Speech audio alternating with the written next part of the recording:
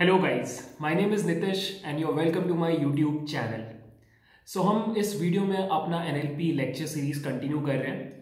uh, सबसे पहले तो आई एम सॉरी दो हफ़्ते डिले हो गया ये वीडियो बट कोई बात नहीं। इस वीडियो में हम लोग एक बहुत इंपॉर्टेंट टॉपिक कवर करेंगे जिसका नाम है पी टैगिंग या फिर इसको बोला जाता है part of speech tagging so part of speech tagging क्या होता है कि अगर आपको एक सेंटेंस एज इनपुट मिला है तो आप वर्ड बाय वर्ड उस सेंटेंस के सारे वर्ड्स को उसका respective part of speech assign कर दो लाइक आई एम नितिश तो I would become pronoun Nitish would become noun ठीक है? इस तरीके से आप गिवन इनपुट सेंटेंसेस को पार्ट ऑफ़ स्पीच लेबल करते हो।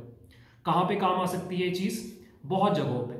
अगर आप कॉम्प्लेक्स एनएलपी सिस्टम्स बना रहे हो लाइक चैटबॉट्स या फिर क्वेश्चन आंसरिंग सिस्टम या फिर इंफॉर्मेशन रिट्रीवल सिस्टम्स वहाँ पर POS tagging works as a text pre processing step जिसके बिना आगे का काम पॉसिबल नहीं है। सो इन अ वे मशीन को अगर आपको सिंटैक्टिकली समझाना है uh, कि लैंग्वेज क्या कहना चाह रहा है तो POS tagging is a very important thing ठीक है? तो इस वीडियो में हम क्या करेंगे? हम सबसे पहले पीओएस टैगिंग क्या होता है थोड़ा डिटेल में डिस्कस करेंगे। किस तरह की जगहों पे यूजफुल है वो डिस्कस करेंगे। उसके बाद मैं स्पेसी लाइब्रेरी यूज़ करके आपको पीओएस टैगिंग कैसे किया जाता है, वो मैं कोड में बताऊँगा। और फिर उसके बाद हम बहुत इंटरेस्टिंग एक डिस्कशन करेंगे कि इंटरनली पीओएस टैगिंग काम कैसे करता है। अब ये थोड़ा कॉम्प्लेक्स है। यहाँ पर हम एक एल्गोरिदम पढ़ेंगे जिसका नाम है हिडन मार्कऑफ मॉडल और उसको ऑप्टिमाइज करने का एक और एल्गोरिदम है जिसका नाम है विटर्बी एल्गोरिदम ये दोनों एल्गोरिदम्स को यूज़ करके पीओएस टैगिंग कैसे किया जाता है। वो मेन इस वीडियो में हम लोग कवर करेंगे। माइंड uh, यू थोड़ा डिफ़िकल्ट है। सो uh, so हो सकता है आपको ये लेक्चर थोड़ा डिफ़िकल्ट लगे बट मैंने ट्राई किया है एग्जाम्पल्स के थ्रू उसको सिंप्लीफाई करने का ठीक है? तो और टाइम वेस्ट नहीं करते। बिफोर uh, स्टार्टिंग एक लास्ट रिक्वेस्ट आपसे। अगर आप ये एन सीरीज़ फॉलो कर रहे हो और आपको मेरा कॉन्टेंट पसंद आ रहा है तो प्लीज़ लाइक करना और please consider subscribing my channel आपके अगर कोई फ्रेंड्स हैं जो एनएलपी सीखना चाहते हैं, उनके साथ आप मेरे चैनल को शेयर करो इट्स अ रिक्वेस्ट और अब let's not waste any time let's start the video तो गाइज़ इस लेक्चर का गोल है आपको पार्ट्स ऑफ़ स्पीच टैगिंग समझाना, ठीक है? तो अगर आप प्लान ऑफ़ अटैक का बात करो तो इस पूरे वीडियो में हम क्या क्या करने वाले हैं, एक बार देख लेते हैं। सबसे पहले we will discuss what is parts of speech tagging obviously हम समझेंगे कि पार्ट्स ऑफ़ स्पीच टैगिंग होता क्या है और उसकी ज़रूरत क्या है एज एन उसके एप्लीकेशंस क्या है, ठीक है? उसके बाद मैं आपको स्पेसी लाइब्रेरी यूज़ करके इसका एक कोड डेमो दूँगा, ठीक है? SpaCy is a NLP library just like NLTK. हम इसको यूज़ करके एक कोड डेमो देखेंगे। कोड बहुत ही ईजी होगा क्योंकि स्पेसी सारा काम हमारे लिए करके दे देगा। तो हमें कुछ खास करना नहीं है। और फिर हम लोग मेन पार्ट में उतरेंगे इस वीडियो के, जहाँ पे we will discuss in detail कि पार्ट्स ऑफ़ स्पीच टैगिंग काम कैसे करता है, ठीक है? यहाँ पर हम एक एल्गोरिदम पढ़ेंगे हिडन मार्कोव मॉडल जो यूज़ होता है पार्ट्स ऑफ़ स्पीच टैगिंग के लिए, ठीक है? ये हम लोग पढ़ेंगे और इसका एक ऑप्टिमाइजेशन होता है विटर्बी एल्गोरिदम ये भी हम देखेंगे, ठीक है? तो this is the entire plan for this video इस वीडियो को देखने के बाद आपको एक एंड टू एंड आइडिया हो जाएगा कि पार्ट्स ऑफ़ स्पीच टैगिंग किसको कहते हैं। तो चलो guys let's start our discussion सबसे पहले हम लोग डिस्कस करेंगे कि पार्ट्स ऑफ़ स्पीच टैगिंग या फिर पीओएस टैगिंग कहते किसको है।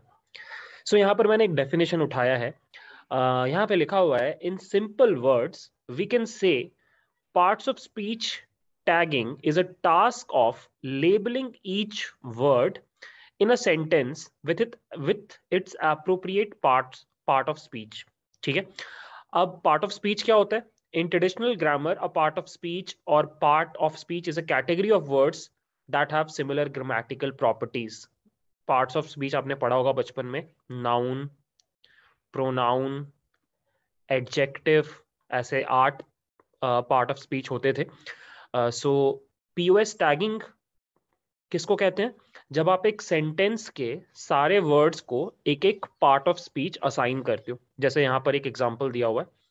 The sentence is why not tell someone question mark अब यहाँ पर आप क्या करोगे कि वर्ड बाय वर्ड एनालाइज करोगे सेंटेंस को और हर वर्ड को आप एक पार्ट ऑफ़ स्पीच असाइन करोगे। Why adverb not adverb tell verb someone I guess यहाँ पे प्रोनाउन होना चाहिए बट जो भी है यार मतलब I guess you get the idea ठीक है?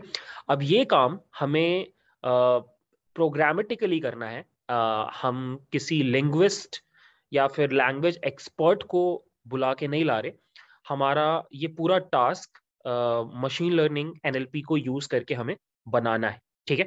बट उसको डिस्कस करने के पहले एक बार डिस्कस कर लेते हैं कि पीओएस टैगिंग जो है उसके एप्लीकेशंस क्या हैं? क्यों हमें ये करने की ज़रूरत पड़ती है? ठीक है? लेट्स डिस्कस दैट तो गाइज़ अगर आप एप्लीकेशन ऑफ़ पीओएस टैगिंग का बात करो तो बहुत सारे एप्लीकेशन हैं। मैं आपके साथ चार एप्लीकेशन यहाँ पे डिस्कस करता हूँ। उसके पहले एक चीज़ मैं क्लैरिफाई कर दूँगा, और वो ये है कि पीओएस टैगिंग एक प्री प्रोसेसिंग स्टेप है। मैंने आपको फ़र्स्ट सेकेंड लेक्चर में एनएलपी पाइपलाइन बताया था, और वहाँ पे मैंने बताया था कि डेटा गैदर करने के बाद जो नेक्स्ट स्टेप आता है, वो होता है प्री प्रोसेसिंग सो so, कोई भी अगर आपसे पूछ ले तो आपको ये हमेशा पता होना चाहिए कि पीओएस टैगिंग एक प्री प्रोसेसिंग स्टेप है। मतलब डेटा को प्रिपेयर करने का एक तरीका है ठीक है? अब कहाँ पे यूजफुल है वो डिस्कस करते हैं। सबसे पहला जो एप्लीकेशन है वो है नेम्ड एंटिटी रिकॉग्निशन ठीक है? नेम्ड एंटिटी रिकॉग्निशन हम लोग अगले लेक्चर में पढ़ने वाले हैं वैसे तो बट मैं आपको फिर से बता देता हूँ कि होता क्या है।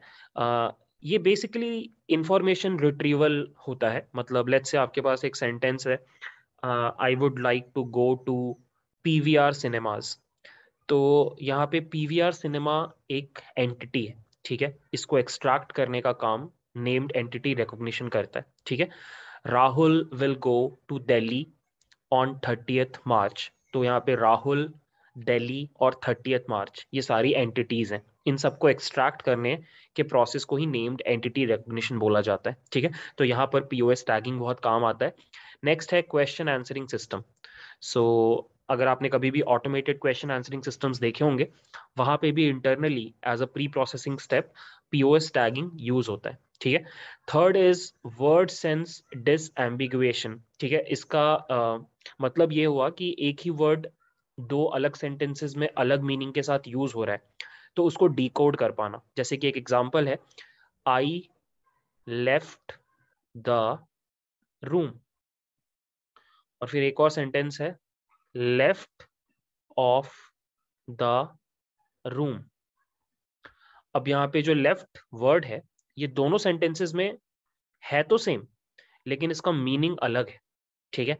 तो पीओएस टैगिंग क्या करेगा कि वो बता देगा कि ये दो अलग मीनिंग की तरह यूज़ हो रहे हैं सेम वर्ड्स ठीक है? तो POS tagging word sense disambiguation में यूज़ होते हैं।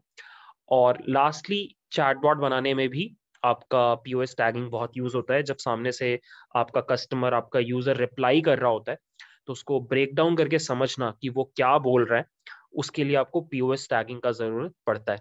इन शॉर्ट अगर आप कॉम्प्लेक्स एनएलपी सिस्टम्स बना रहे हैं तो फिर there is a high probability कि आपको as a pre processing step POS tagging करना पड़ सकता है ठीक है? तो बहुत काम की चीज़ है। सो so गाइज़ अब हम लोग देखेंगे कि आप स्पेसी लाइब्रेरी यूज़ करके पार्ट्स ऑफ़ स्पीच टैगिंग कैसे करते हो ठीक है? सो so, कुछ करना नहीं है जुपिटर नोटबुक ओपन करना है और सबसे पहले ये कमांड रन करना है। इससे क्या होगा कि अगर आपके सिस्टम पे स्पेसी इंस्टॉल नहीं होगा तो इंस्टॉल हो जाएगा सिंस मेरे में ऑलरेडी इंस्टॉल्ड है मैं इसको रन नहीं कर रहा। उसके बाद you have to write import spaCy जिससे आप स्पेसी लाइब्रेरी को इम्पोर्ट कर लोगे। उसके बाद आपको इंग्लिश लैंग्वेज डिक्शनरी को इम्पोर्ट करना होता है। उसके लिए आपको ये स्टेटमेंट लिखना पड़ेगा। SpaCy dot load English core web small ठीक है? और इसको आप एक एनएलपी ऑब्जेक्ट में स्टोर करते हो। उसके बाद आप क्या करते हो? आप अपने डॉक्यूमेंट्स क्रिएट करते हो। डॉक्यूमेंट्स आर बेसिकली सेंटेंसेस जिसके ऊपर आप काम करोगे। सो लेट्स से मैंने यहाँ पे लिखा I will Google about Facebook ठीक है? और ये मेरा डॉक्यूमेंट है।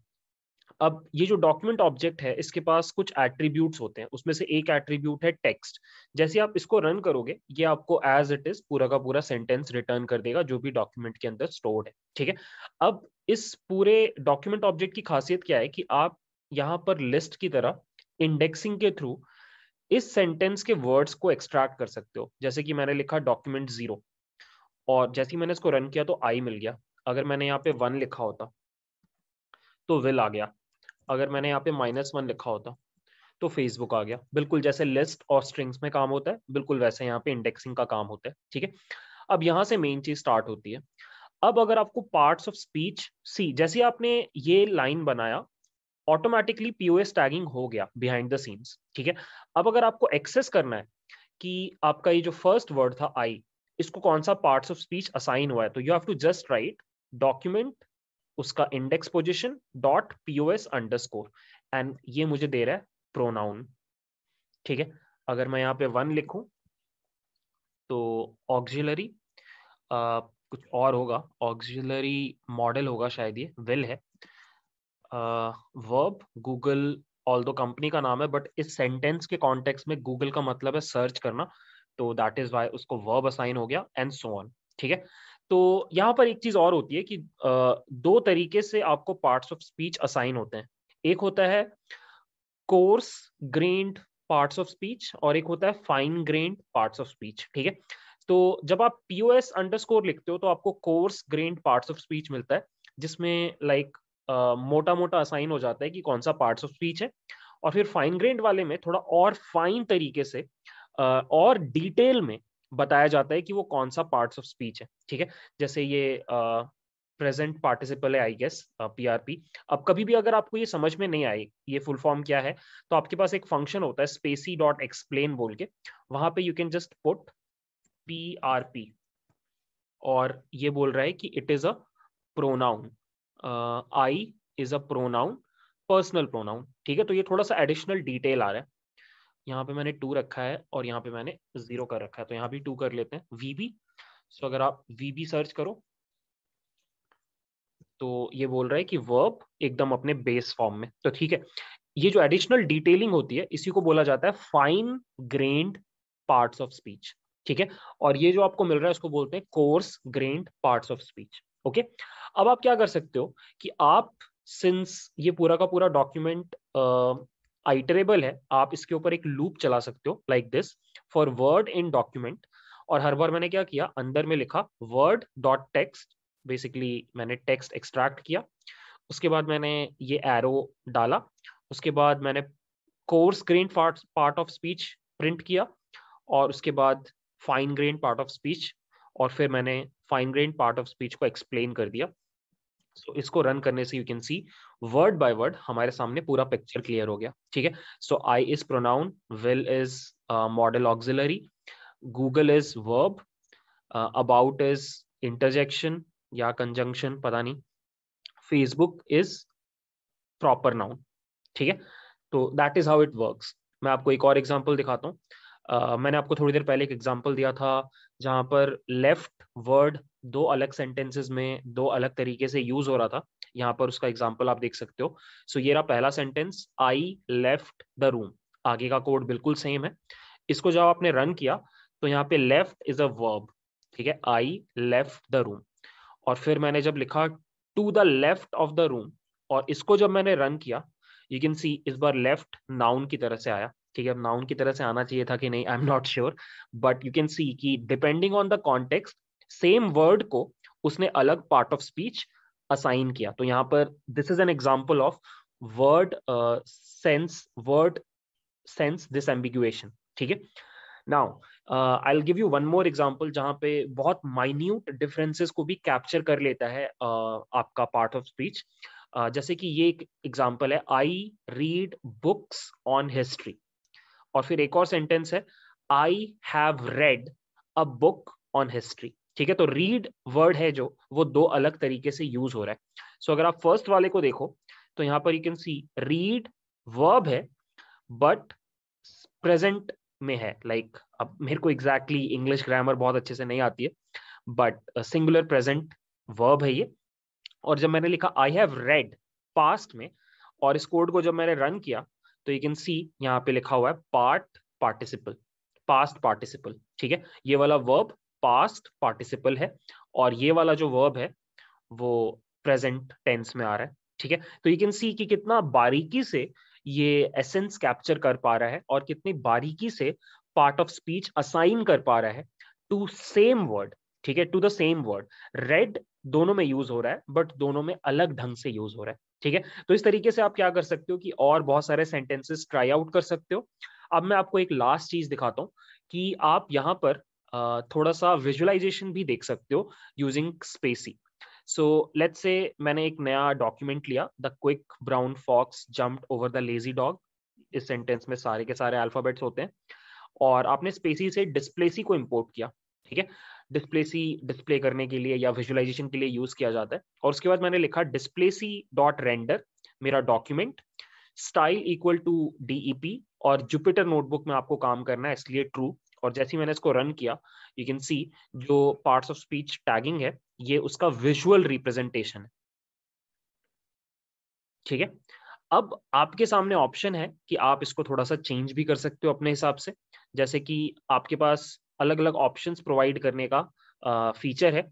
जैसे मुझे अगर ये डिस्टेंस बहुत ज़्यादा लग रहा है और मुझे स्क्रोल करना पड़ रहा है तो I can reduce the distance compact equal to true मैं बैकग्राउंड कलर दे सकता हूँ और फॉन्ट कलर भी दे सकता हूँ। तो इस तरह के बहुत सारे ऑप्शन है। अगर आप डॉक्यूमेंटेशन में जाओ इसके तो आपको यहाँ पे दिखाई देगा कि यहाँ पर you can provide options dictionary और यहाँ पे अगर आप जाओगे तो आपको अलग अलग ऑप्शंस दिखाई देंगे, ठीक है?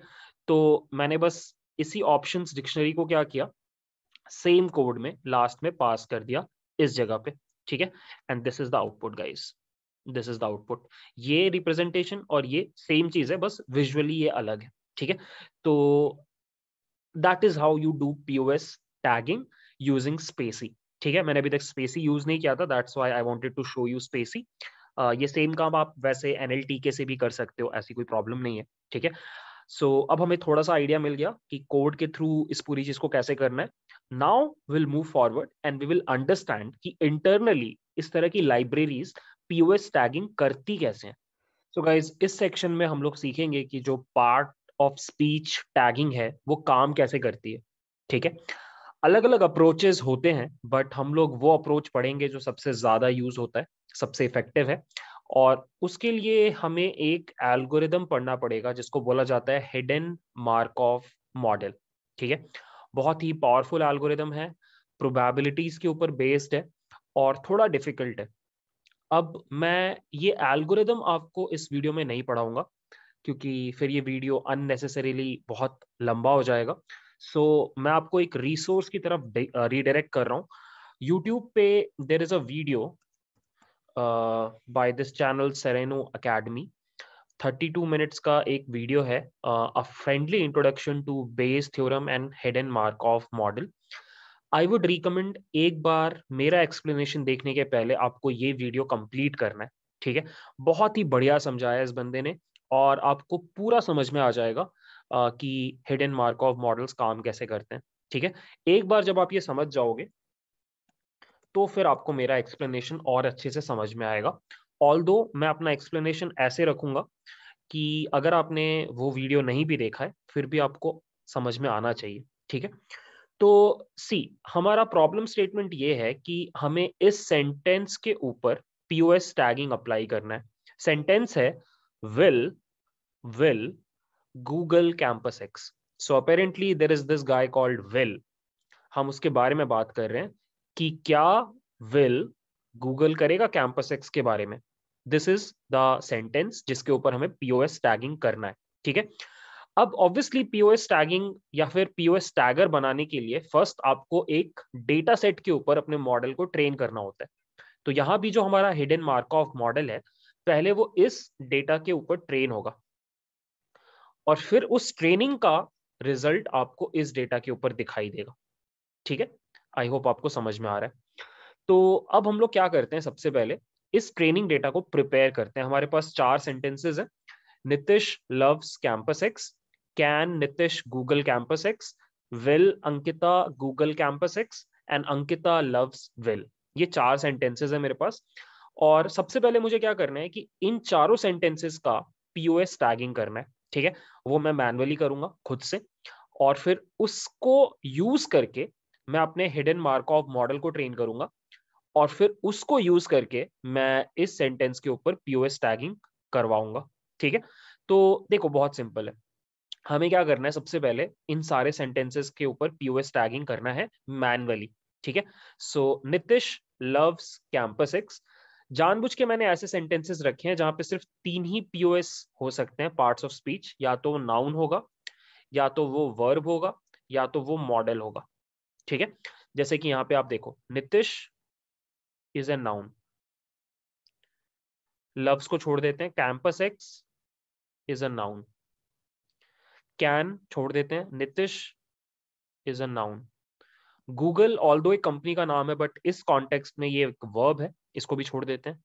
Campus X is a noun Will Ankita is a noun Google again एक वर्ब की तरह यूज़ हो रहा है. Campus X is a noun Ankita is a noun and this guy Will is also a noun ठीक है? अब हम क्या करते हैं? वर्ब्स को पकड़ते हैं। जैसे लव्स एक वर्ब है। गूगल एक वर्ब है। गूगल एक वर्ब है। लव्स एक वर्ब है। ठीक है?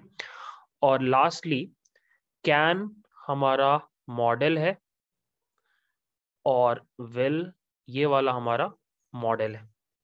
ठीक है? तो हमने सारे के सारे सेंटेंसेस के ऊपर पीओएस टैगिंग मैनुअली कर लिया। ठीक है? इसको हम लोग अब आगे यूज़ करेंगे।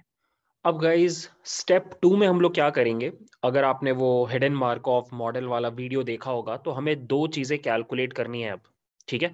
फ़र्स्ट हमें कैलकुलेट करनी है एमिशन प्रोबेबिलिटी एमिशन प्रोबेबिलिटी क्या होती है आपको थोड़ी देर में समझ में आ जाएगी, ठीक है? सो हम एक टेबल बना रहे हैं, जहाँ पर कॉलम्स में आ रहा है नाउन मॉडल एंड वर्ब ठीक है? और रोज में हमारे सारे के सारे यूनिक वर्ड्स जैसे कि Nitish loves Campus X, Google, Will, Ankita, और लास्ट में कैन ये हमारे सारे यूनिक वर्ड्स हैं। ठीक है? अब हम काउंट करेंगे कि हर वर्ड कितनी बार एज नाउन आया है एज मॉडल आया है एंड एज वर्ब आया है। जैसे अगर आप नितिश की बात करो तो नितिश दो बार एज नाउन आया है मॉडल की तरह एक बार भी नहीं यूज़ हुआ है वर्ब की तरह एक बार भी यूज़ नहीं हुआ है। ठीक है? उसके बाद लव्स की अगर आप बात करो तो लव्स दो बार एज वर्ब uh, आया है। बाकी जगहों पे मैं ज़ीरो डाल देता हूँ। लाइक दिस ठीक है? कैंपस एक्स का बात करो तो कैंपस एक्स तीन बार आया है और तीनों बार एज नाउन आया है। उसके बाद अगर आप गूगल का बात करो तो गूगल एक्चुअली तीन बार आया है। गूगल गूगल एक्चुअली गूगल दो ही बार आया है। एक काम कर लेते हैं, एक और ट्रेनिंग सेंटेंस ऐड कर लेते हैं। Will in fact let's be consistent Will loves Google ठीक है? ऑब्वियसली विल है नाउन गूगल इज़ नाउन और लव्स इज़ वर्ब ठीक है? तो सेंटेंसेस में लव्स एक बार बढ़ गया है। सो लव सब तीन बार आया है। तीनों बार एज वर्ब ठीक है? गूगल की अगर आप बात करो तो गूगल एक बार एज नाउन आया है मॉडल की तरह यूज़ नहीं हुआ है। दो बार वर्ब की तरह यूज़ हुआ है। अगर आप विल की बात करो तो विल दो बार आया है। एक्चुअली विल तीन बार आया है। दो बार एज नाउन आया है, एक बार एज मॉडल आया है। दो बार एज नाउन एक बार as model and zero Ankita, दो बार, दोनों बार ही as noun and lastly can can सिर्फ़ एक बार आया है और वो एक बार भी जो था, वो एज मॉडल आया है। ठीक है? अब हमें क्या करना है? हमें इन नंबर्स को प्रोबेबिलिटीज में कन्वर्ट करना है ठीक है? सो बेसिकली कैसे प्रोबेबिलिटीज में कन्वर्ट करना है? कि हमें ये पता करना है कि अगर कोई वर्ड नाउन है तो उसके नितिश होने का प्रोबेबिलिटी क्या है? ठीक है तो मैं क्या करूँगा? कॉलम का सम से डिवाइड कर दूँगा। सो so, अगर आप यहाँ पे नाउन का टोटल अकरेंस देखो two plus three five six eight ten तो इसका मतलब टू बाई टेन है किसी भी नाउन का नितिश होने का प्रोबेबिलिटी थ्री बाई टेन है किसी भी नाउन का कैंपस एक्स होने का प्रोबेबिलिटी वन बाई टेन है किसी भी नाउन का गूगल होने का प्रोबेबिलिटी टू बाई टेन है किसी भी नाउन का विल होने का प्रोबेबिलिटी और टू बाई टेन है किसी भी नाउन का अंकिता होने का प्रोबेबिलिटी ठीक है? सेम चीज़ मैं मॉडल के ऊपर अप्लाई करूँगा। तो यहाँ पे हो जाएगा one by two one by two so so, किसी भी मॉडल का विल होने का प्रोबेबिलिटी हाफ़ है और कैन होने का प्रोबेबिलिटी भी हाफ़ है ठीक है? सेम काम हम अप्लाई करेंगे वर्ब के ऊपर भी। तो अगर हम जोड़े टोटल कितने वर्ब्स हैं? तीन और दो पाँच। तो यहाँ पे आ जाएगा थ्री बाय फाइव यहाँ पे आ जाएगा टू बाय फाइव ठीक है? सो इसका क्या मतलब हुआ कि गिवन कोई वर्ड वर्ब है उसका लव्स होने का प्रोबेबिलिटी थ्री बाय फाइव है और उसका गूगल होने का प्रोबेबिलिटी टू बाय फाइव है। तो अब मेरे पास हर वर्ड का एमिशन प्रोबेबिलिटी आ चुका है। इसी को हम बोलते हैं एमिशन प्रोबेबिलिटी अगर आपने वो वीडियो देखा होगा तो थोड़ा और क्लियर हो जाएगा बट मेरे पास एमिशन प्रोबेबिलिटी आ चुका है, ठीक है? अब मुझे नेक्स्ट जो निकालना है वो है ट्रांजिशन प्रोबेबिलिटी जो हम नेक्स्ट डिस्कस करेंगे। सो अगेन ट्रांजिशन प्रोबेबिलिटी क्या होता है, ये आपको उस वीडियो को देख के काफ़ी अच्छे से समझ में आ जाएगा बट अगर आपने वो वीडियो नहीं देखा है तो मैं आपको बताता हूँ। ट्रांजिशन प्रोबेबिलिटी बेसिकली ये बताता है कि किसी एक आपके पार्ट ऑफ़ स्पीच से अगली चीज़, एक दूसरी पार्ट ऑफ़ स्पीच हो, उसकी प्रोबेबिलिटी क्या है? बेसिकली इस डेटा के हिसाब से नाउन का अगला वर्ड वर्ब हो, इस बात की क्या प्रोबेबिलिटी है? वर्ब का अगला वर्ड नाउन हो, इस बात की प्रोबेबिलिटी क्या है? मॉडल का अगला वर्ड नाउन हो, इस बात की प्रोबेबिलिटी क्या है? हमें ये निकालना है। ठीक है? तो ये निकालने के लिए आप सबसे पहले क्या करोगे कि आप सारे सेंटेंसेस के शुरुआत में स्टार्ट uh, और एंड लगा दोगे। Start end start start start start end end end end ठीक है? और अब हम क्या करेंगे? यहाँ पर एक लुकअप टेबल बनाएँगे। सो so, यहाँ पे होगा सबसे पहले start noun modal verb noun modal verb and ठीक है? और अब हमें क्या करना है? ये ट्रांजिशन प्रोबेबिलिटीज यहाँ पे रिकॉर्ड करनी है। तो सबसे पहले लेट्स सी कि कितनी बार ऐसा हुआ है कि स्टार्ट के बाद नाउन आया है। हमारे डेटा में। सो so, अगर आप देखो यहाँ पर एक बार यहाँ पर दूसरी बार और यहाँ पे तीसरी बार ठीक है? तो हम यहाँ पे लिख देंगे थ्री ठीक है? स्टार्ट के बाद मॉडल कितनी बार आया है? दो बार। स्टार्ट के बाद वर्ब कितनी बार आया है? ज़ीरो बार। स्टार्ट के बाद एंड कितनी बार आया है? ज़ीरो बार ठीक है? अब हम पूछेंगे नाउन के बाद नाउन कितनी बार आया है? तो नाउन के बाद नाउन एक बार भी नहीं हुआ ऐसा कि नाउन के बाद नाउन आया हो तो हम यहाँ पे ज़ीरो लिख देंगे।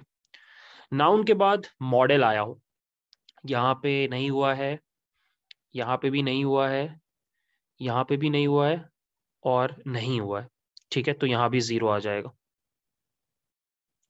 नाउन के बाद वर्ब आया है, एक बार यहाँ पर है, दूसरी बार यहाँ पर है, तीसरी बार यहाँ पर है चौथी बार यहाँ पर है, पांचवी बार यहाँ पर है।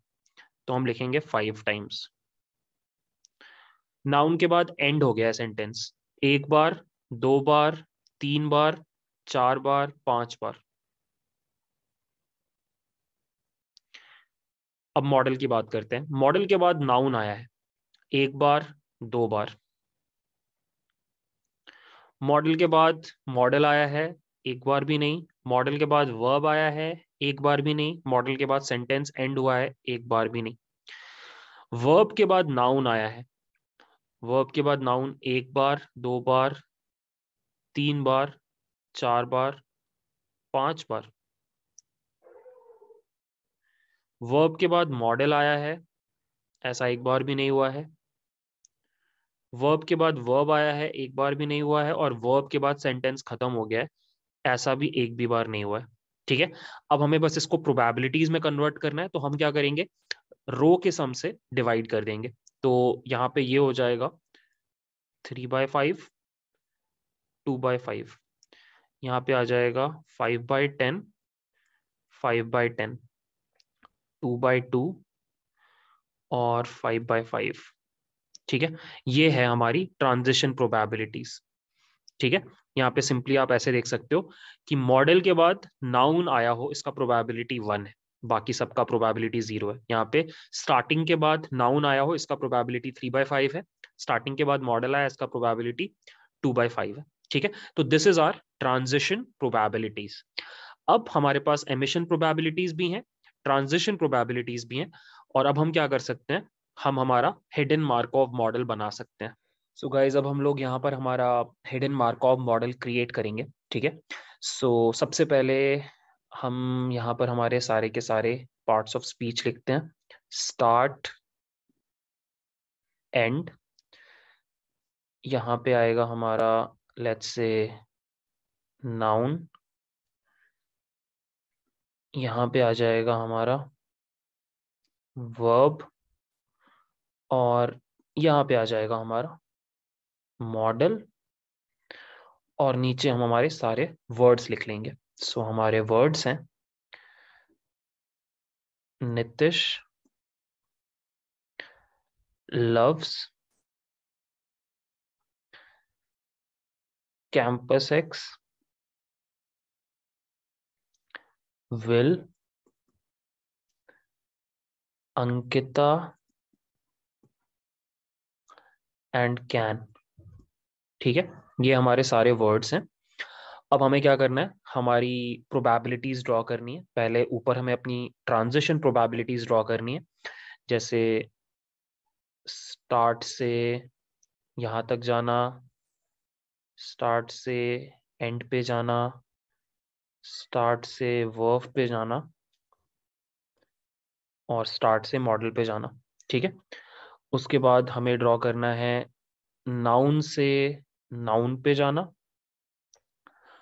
नाउन से मॉडल पे जाना, नाउन से वर्व पे जाना और नाउन से एंड पे जाना, ठीक है?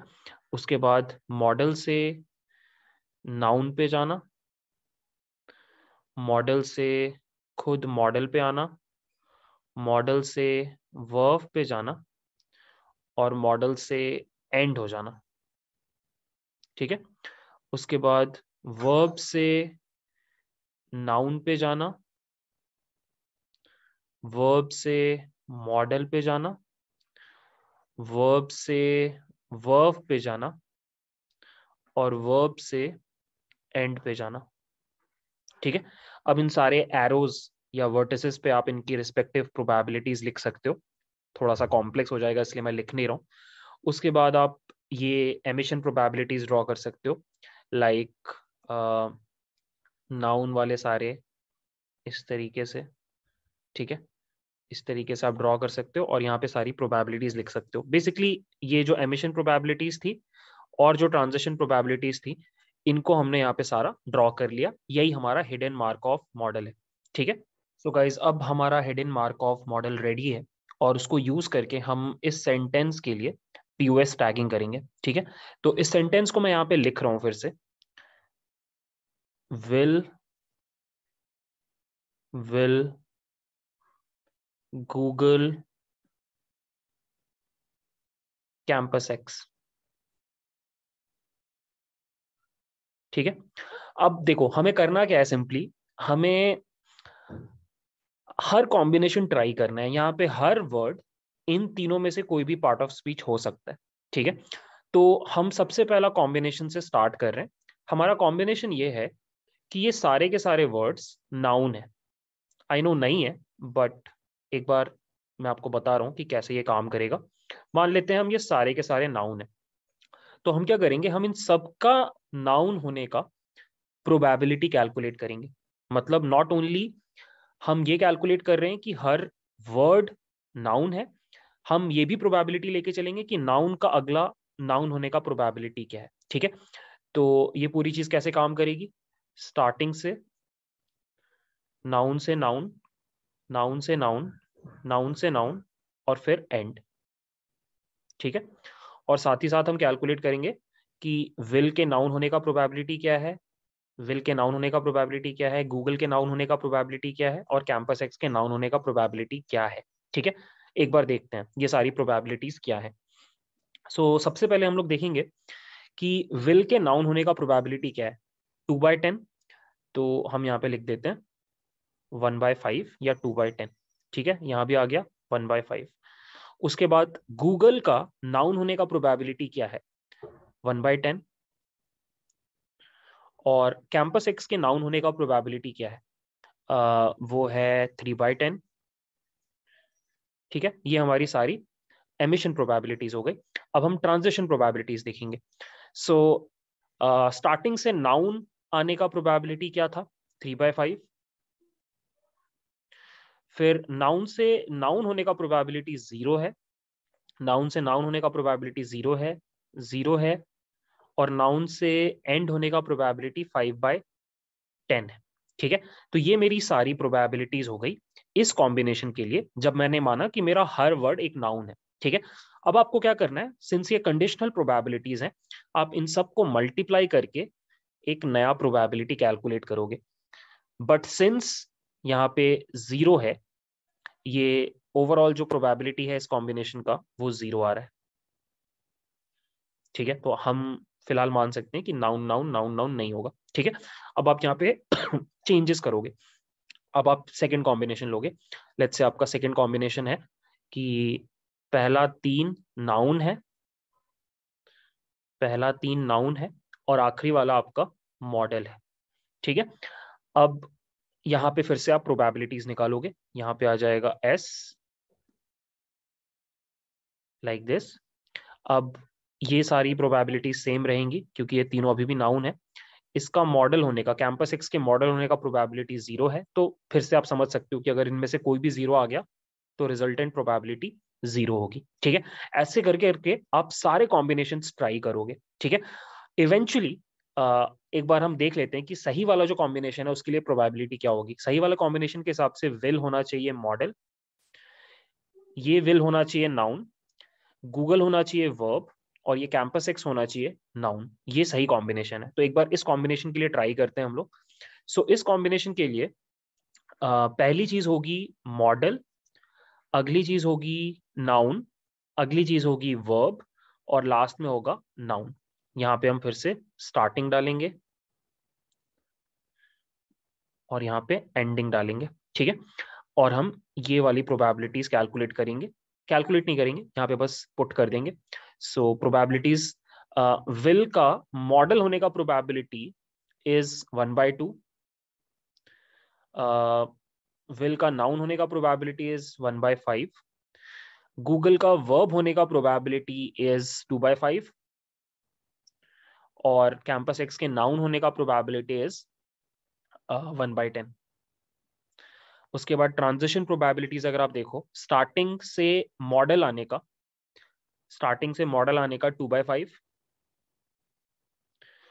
मॉडल से नाउन जाने का two by two as in one noun से वर्ब जाने का वन बाई टू वर्ब से नाउन जाने का वन और नाउन से एंड हो जाने का वन बाई टू और अब इसमें से कोई भी प्रोबेबिलिटी ज़ीरो नहीं है। आप इन सबको मल्टीप्लाई करोगे तो it would be a non zero number and that is the probability ठीक है? So eventually you would find out अगर आप सारे कॉम्बिनेशन ट्राई करो, कि ये वाली जो प्रोबेबिलिटी है, इस कॉम्बिनेशन के लिए जो प्रोबेबिलिटी है सिंस वो सबसे ज़्यादा आ रही है तो फिर आप इस सेंटेंस को ये टैग्स असाइन कर दोगे, ठीक है? So that is how hidden Markov model will work कि वो सारे कॉम्बिनेशन ट्राई करेगा और जिस कॉम्बिनेशन के लिए ये सारी सेट ऑफ़ प्रोबेबिलिटीज का प्रोडक्ट सबसे ज़्यादा होगा, वही आपका पार्ट्स ऑफ़ स्पीच असाइन हो जाएँगे, ठीक है? अब यहाँ पर एक बस प्रॉब्लम है। प्रॉब्लम ये है कि जब हमारे पास सिर्फ़ तीन पार्ट्स ऑफ़ स्पीच थे नाउन वर्ब और मॉडल तो फिर भी थोड़े कम कॉम्बिनेशन है। एक्चुअली पता करते हैं कि टोटल कॉम्बिनेशन कितने होंगे। सो so, अगर आप कॉम्बिनेशन की बात करो तो हमारे पास जो सेंटेंस है will will Google Campus X तो अब अगर आप यहाँ पे देखो तो विल नाउन भी हो सकता है ये भी नाउन हो सकता है ये भी नाउन हो सकता है ये भी नाउन हो सकता है। और ये वर्ब हो सकता है ये वर्ब हो सकता है ये वर्ब हो सकता है ये वर्ब हो सकता है। और ये चारों मॉडल भी हो सकते हैं। मॉडल भी हो सकते हैं। सो so, यहाँ पे चारों पोजीशंस पे तीनों पॉसिबिलिटीज एग्जिस्ट करती हैं। सो so, टोटल मिला के आपके पास three to the power four as in eighty one combination है। जहाँ पे थ्री क्या रिप्रेजेंट कर रहा है आपके? थ्री रिप्रेजेंट कर रहा है number of parts of speech जो आपके वोकेबलरी में है, और फोर क्या रिप्रेजेंट कर रहा है आपके सेंटेंस के वर्ड्स नाउ इमेजिन अगर आप सारे पार्ट ऑफ़ स्पीच को पकड़ के चलो और ये सेंटेंस थोड़ा लंबा हो तो ये जो कॉम्बिनेशन है, ये एक्चुअली एक्सपोनेंशियल हो जाएगा। और इसको कैलकुलेट कर पाना बहुत डिफ़िकल्ट हो जाएगा इस तरीके से, जहाँ पे हम हर कॉम्बिनेशन ट्राई कर रहे थे। इसको मैं थोड़े और अच्छे से लिख सकता हूँ कि टोटल कितने कॉम्बिनेशन होंगे।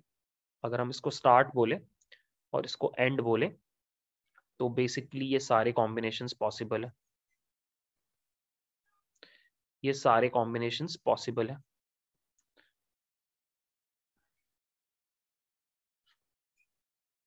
You can see uh sorry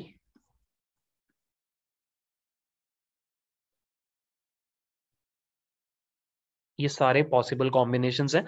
इनमें से कोई भी पाथ पकड़ के हमारा पार्ट ऑफ़ स्पीच टैगिंग हो सकता है, ठीक है?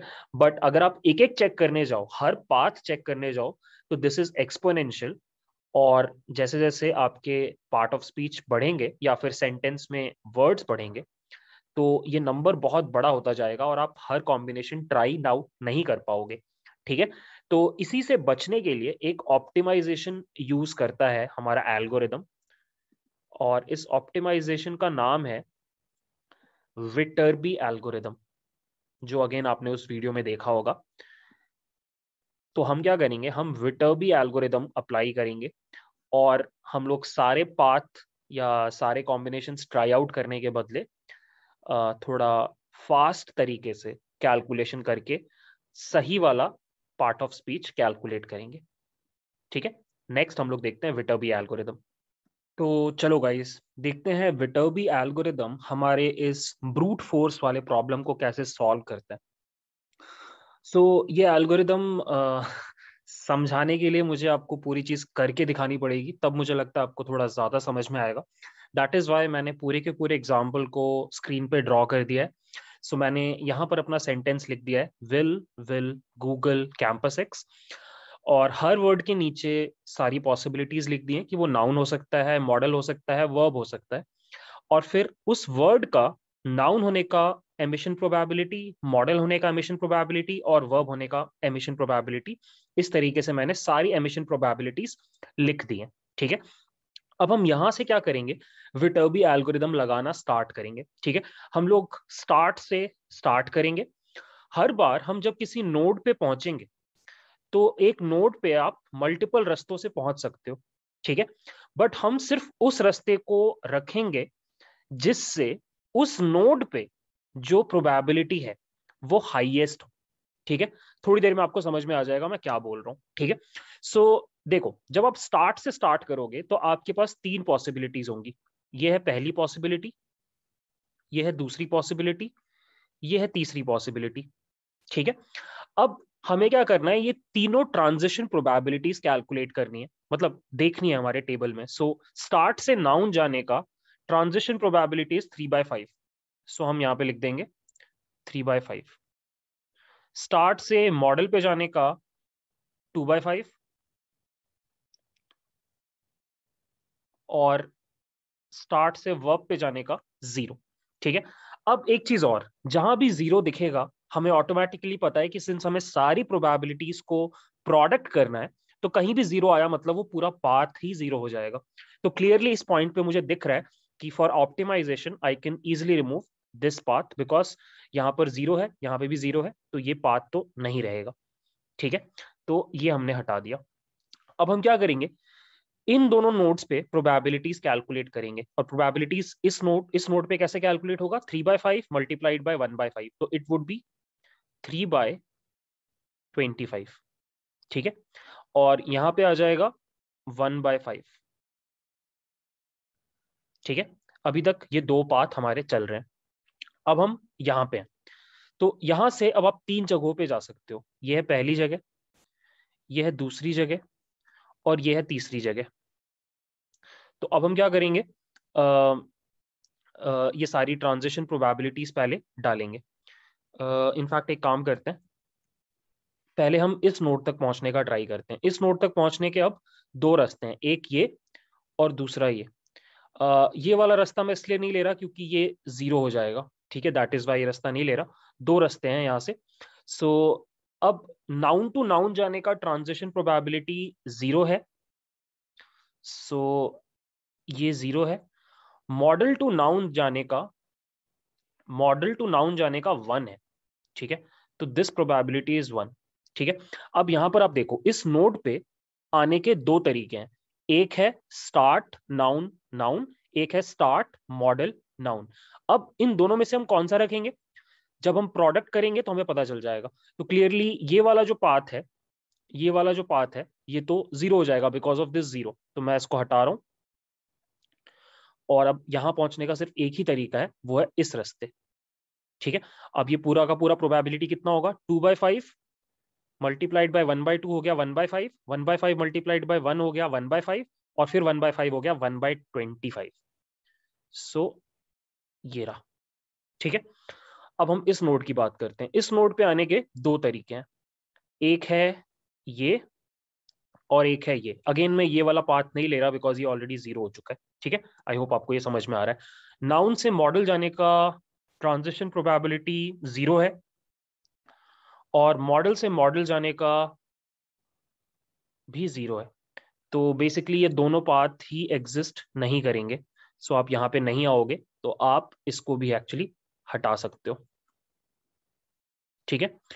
सिमिलरली यहाँ पे पहुँचने के आपके पास एक ये तरीका है और एक ये तरीका है और एक ये तरीका है जो अगेन पॉसिबल नहीं है। तो noun to verb noun to verb है one by two this path is one by two और modal to verb is modal to verb is zero तो ये पाथ एग्जिस्ट नहीं कर सकता। ये पाथ एग्जिस्ट नहीं कर सकता। और एक्चुअली ये पाथ भी एग्जिस्ट नहीं कर सकता। ये नोड के पास ही आप नहीं जा सकते बिकॉज़ यहाँ पे जो आपका प्रोबेबिलिटी है वो ज़ीरो है। तो एक्चुअली ये पाथ भी एग्जिस्ट नहीं करेगा। ठीक है? तो अब आप यहाँ पर हो। इस जगह पर आप यहीं पे हो ही सकते हो और दोनों जगहों पे होने का बात ही नहीं है। तो यहाँ से अब आप तीन जगहों पे जा सकते हो, ठीक है? यहाँ से आप तीन जगहों पे जा सकते हो। एक आप यहाँ जा सकते हो, एक आप यहाँ जा सकते हो, एक आप यहाँ जा सकते हो, ठीक है? क्लियरली आप यहाँ नहीं जाओगे क्योंकि ये ज़ीरो से मल्टीप्लाई हो रहा है। तो अब आपके पास यहाँ से दो पॉसिबिलिटी है, इस नाउन के पास जाने का और इस वर्ब के पास जाने का, ठीक है? तो हम फिर से कैलकुलेट करेंगे।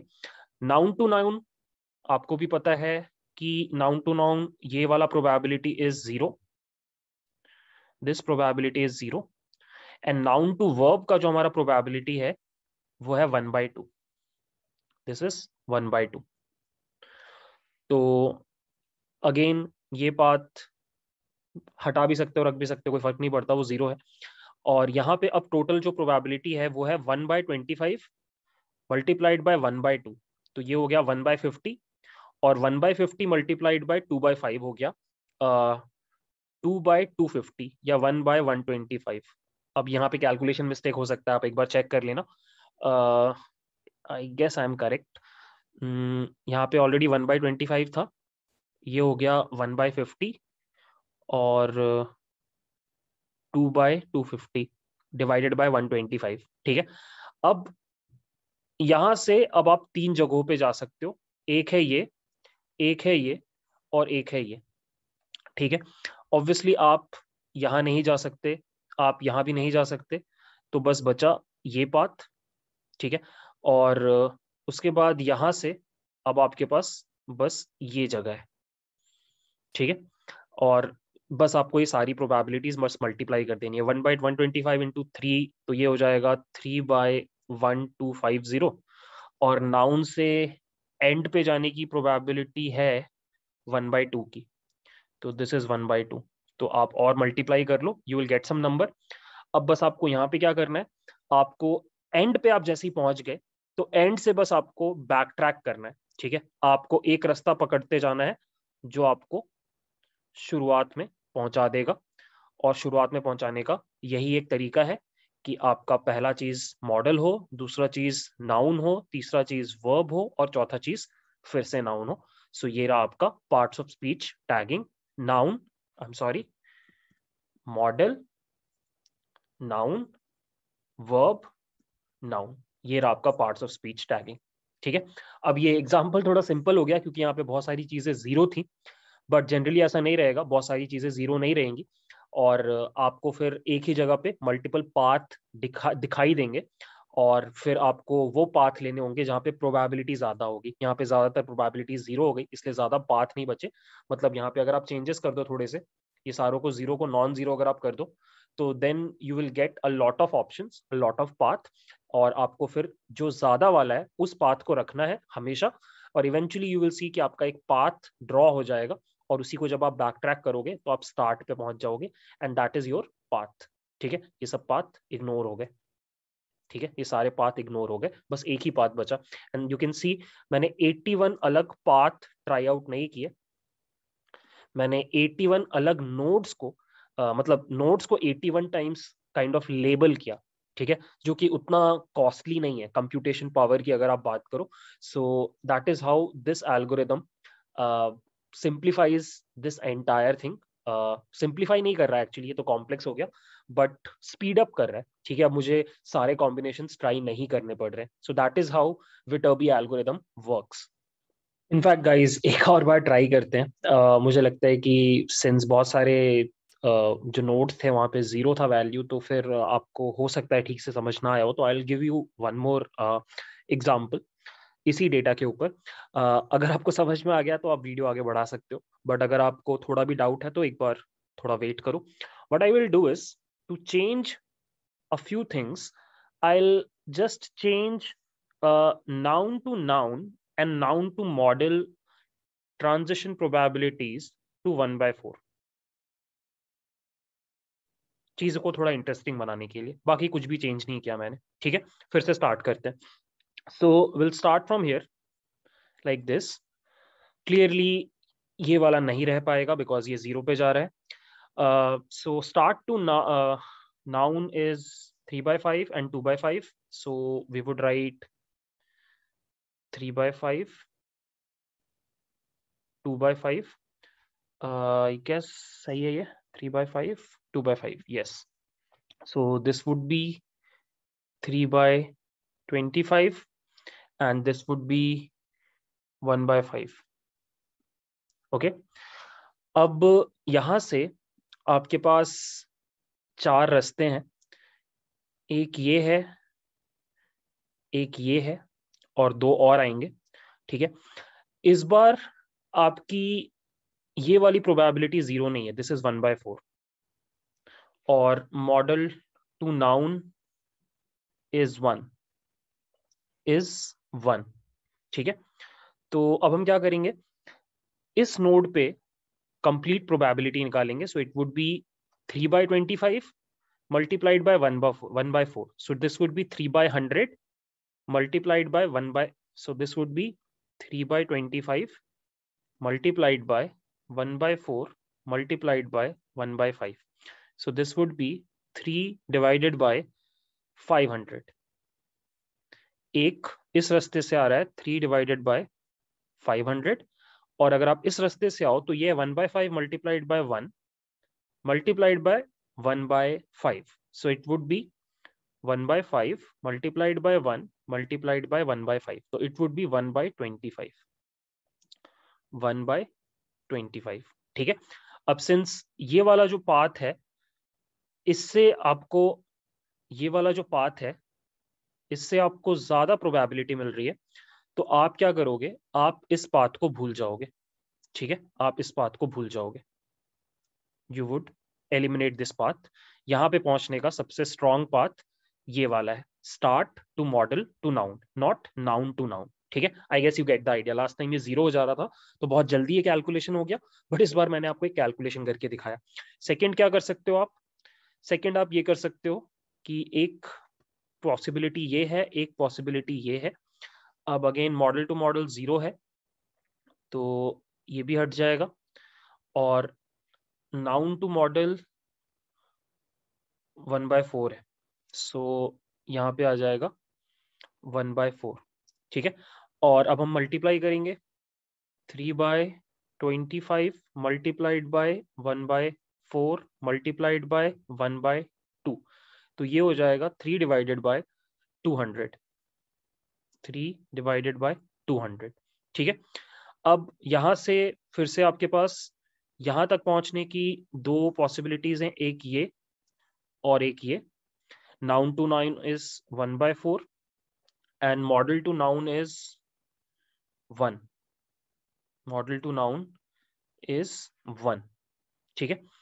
तो यहाँ पे आ जाएगा three by five hundred I just do the calculation three by five hundred multiplied by one by four multiplied by यहाँ पे one by ten so this would be 3 divided by 5000 multiplied by 4 20000 so इस रास्ते अगर आप आ रहे हो start model noun noun तो ये आ रहा है three divided by two thousand probability अब अगर आप इस रास्ते आओ, यहाँ पे this is three by two hundred three by two hundred multiplied by one multiplied by one by ten is equal to three by okay यहाँ पे ट्वेंटी थाउज़ेंड होगा और यहाँ पे थ्री बाय टू थाउज़ेंड होगा। ठीक है? तो आप क्या करोगे? ऑब्वियसली ये वाला पाथ ज़्यादा स्ट्रांग है तो आप इसको भूल जाओगे। ठीक है? इसको रखोगे आप। ठीक है? अब इस वर्ब तक पहुँचने के भी दो रास्ते हैं। एक है एक है ये और एक है ये। ठीक है? Noun to verb noun to verb है one by two so this path is one by two और मॉडल टू वर्ब है modal to verb is zero so ये एनीवेज नहीं रहेगा। ये वाला नहीं रहेगा। ठीक है? आप यहाँ पे आ गए वन बाई टू तो ये पूरा का पूरा चीज़ हो जाएगा। I just do the calculation three by five hundred multiplied by one by two multiplied by two by five ये टू ये टू कैंसिल हो गया। सो so ये आ जाएगा three divided by twenty five hundred so so, यहाँ पे है three divided by twenty five hundred ठीक है? अब हमारे पास ये दोनों तो ज़ीरो ही हैं तो यहाँ से या तो आप इधर से आ सकते हो या फिर इधर से आ सकते हो ठीक है? अब अगर आप यहाँ से आ रहे हो तो noun to noun is one by four तो ये पूरा प्रोबेबिलिटी हो जाएगा three by twenty thousand multiplied by one by four multiplied by three by ten ठीक है? और ये हो जाएगा total nine divided by eighty thousand multiplied by ten eight lakh ठीक है?